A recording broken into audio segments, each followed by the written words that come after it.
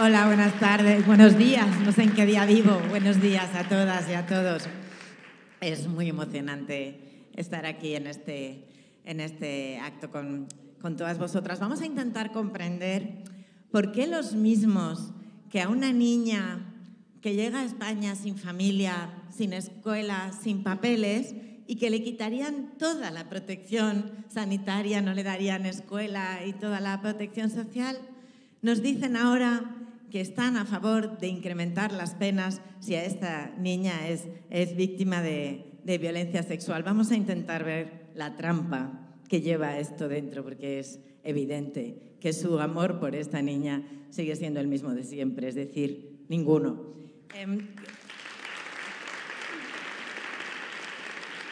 la ley, venimos de un sistema que no funciona. Es un sistema de siglos que nunca ha sido funcional a las mujeres.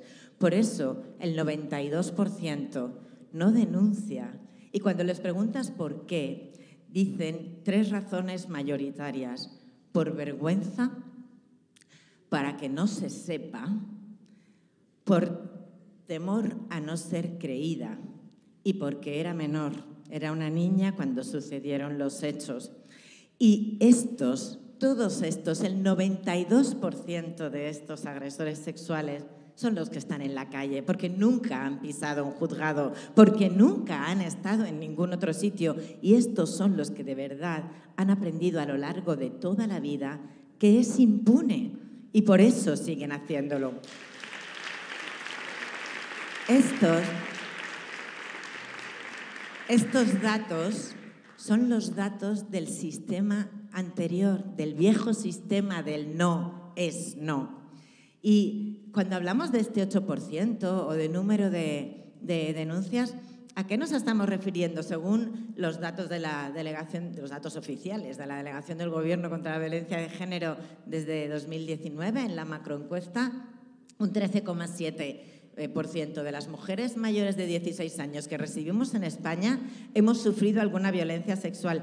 2.800.000 mujeres. 2.800.000 mujeres mayores de 16 años. Y de estas, cada año, el año pasado se denuncian 17.000 y se condenan 3.900. ¡Ups! Se nos han pasado por el camino 14.000 de cada año, de las que sí denuncian, de ese 8%. Bueno, pues pero por el camino porque a lo mejor no se sabe quién ha sido, a lo mejor la policía con sus mejores medios de investigación no lo ha resuelto, no. De esas 17.000, según los datos de Interior, son crímenes esclarecidos, es decir, que le presentan un atestado con autor al juez de guardia, 13.000, más de 13.000. Y eso se van quedando la cuarta parte, por las tres cuartas partes por el camino hasta que llegan a unas pocas sentencias. Este es el sistema del no es no. ¿Y qué significa en algo más profundo que lo legal el no es no? Pues que tú tienes desde que naces la obligación de ir alerta, de ir agotada, de ir diciendo a todas partes que no y esto es tu deber. Y a cada deber le corresponde un derecho, ¿no? Saramago hablaba, me lo recordaba el otro día su compañera de vida, Pilar del Río, eh, de, la Declaración de los Deberes Humanos. Decía, ¿para cuándo? Tu deber es este. ¿Por qué? Porque hay un derecho del otro.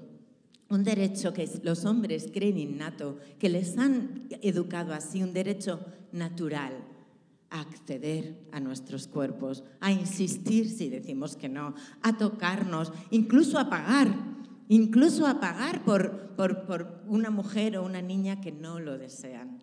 Este es el sistema del no es no, ese que tanto nos suena y que prevé, evidentemente, si una tiene un deber y otro tiene derecho, parte de una desigualdad esencial, de una desigualdad casi natural en la que hemos sido casi todas las que estamos aquí educadas. Frente a esto, ¿qué es el sí es sí? Un derecho a la libertad sexual entre iguales, entre iguales. Por eso, quienes llevan toda la vida apoyando el sistema del no es no, quieren revertir esta idea, porque no nos quieren ni con libertad sexual ni con igualdad. Lo que ellos quieren es que siempre estemos con ese miedo, con esa opresión y con ese deber de decir que no desde chiquititas, porque esto, esto educa, esto disciplina. Por eso nos están metiendo tanto terror sexual desde los medios, porque esto domestica, que no es violencia doméstica, es violencia que domestica.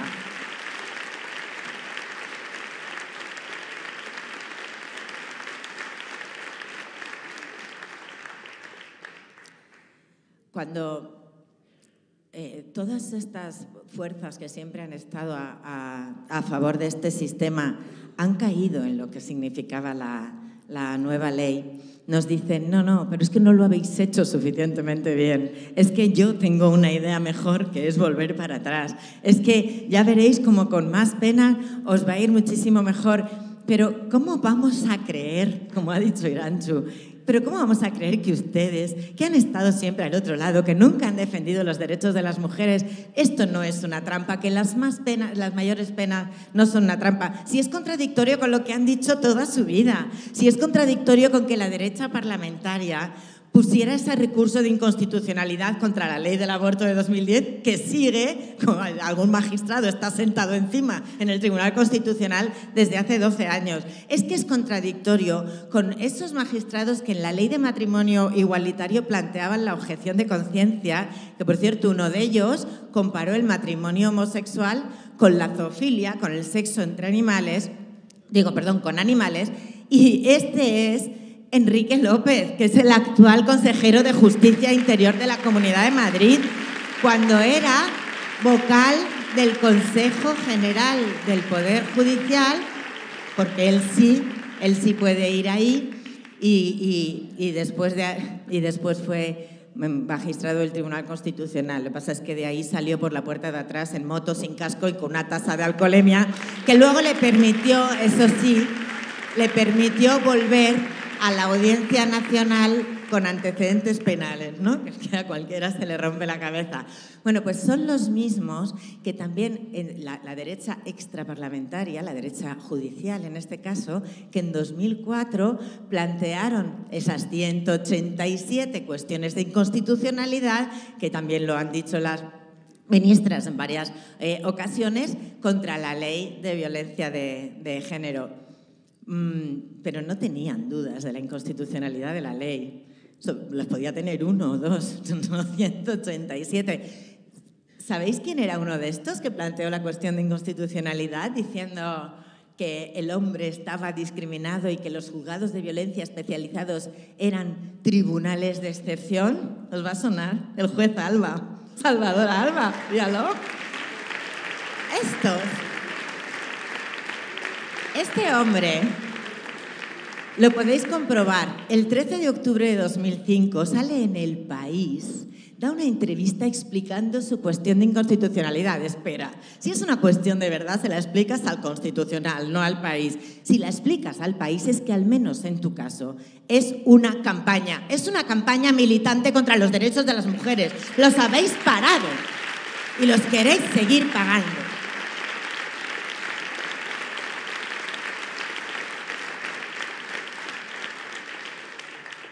Estos, que ahora, bueno, él, es verdad que a veces, a veces, pues tienes la sensación de que se hace justicia, ¿no? Que él está en extremera por corrupto y yo soy la delegada del gobierno contra la violencia de género.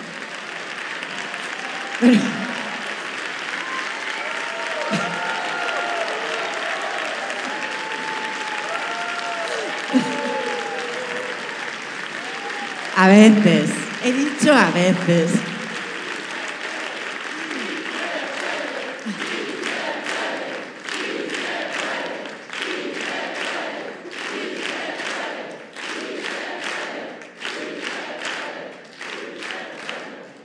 Veces, he dicho a veces.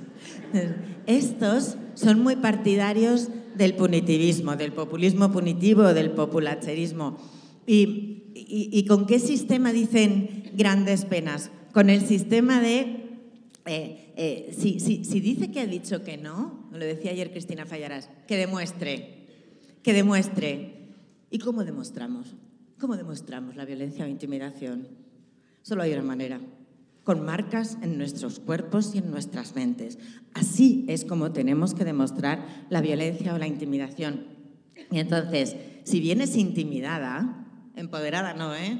No te quiero aquí. Si vienes intimidada, te creo un poco. Si vienes muy dañada, te creo un poco más. Si vienes muerta, muerta sí te creo. Esas son las únicas indiscutibles para el sistema. Esas son las indiscutibles. Haced la prueba. Haced la prueba. Id a cualquier ámbito, circulillo de amigos, a cualquier sitio y decir, ha habido otra víctima de violencia machista. Gran consternación, minuto de silencio.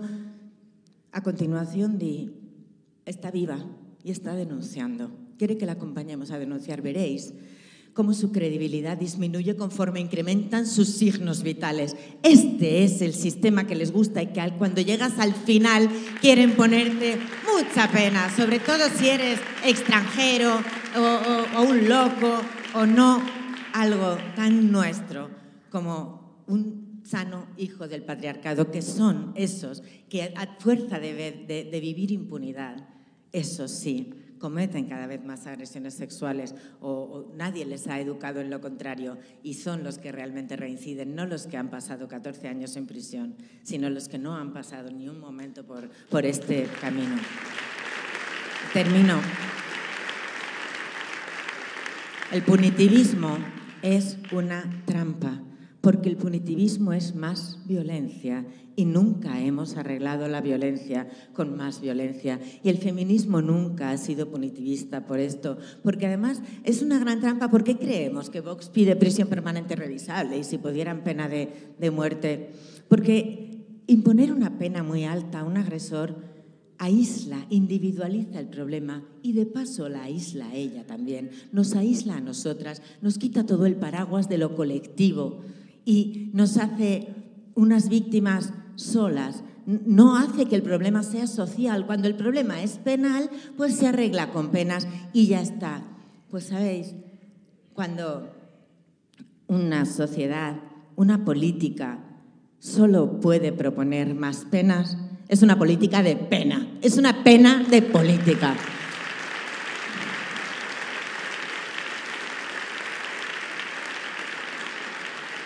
Nosotras estamos más seguras y somos más libres con una ley integral que con una ley penal. Espero haberme explicado bien. Es que es obvio que estamos más libres y más seguras también cuando no vendemos libertad a cambio de seguridad. No, no quiero tu seguridad a cambio de que me quites mi libertad y porque nosotras creemos en la seguridad de los derechos, no en la seguridad de las derechas, porque este va a ser un país de derechos, nunca más un país de derechas.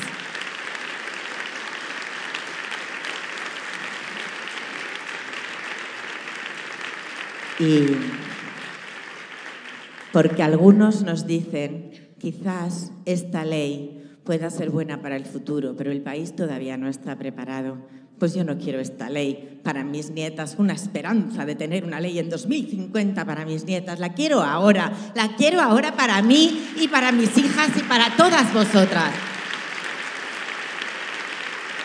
Y ya que creo que me he pasado de tiempo,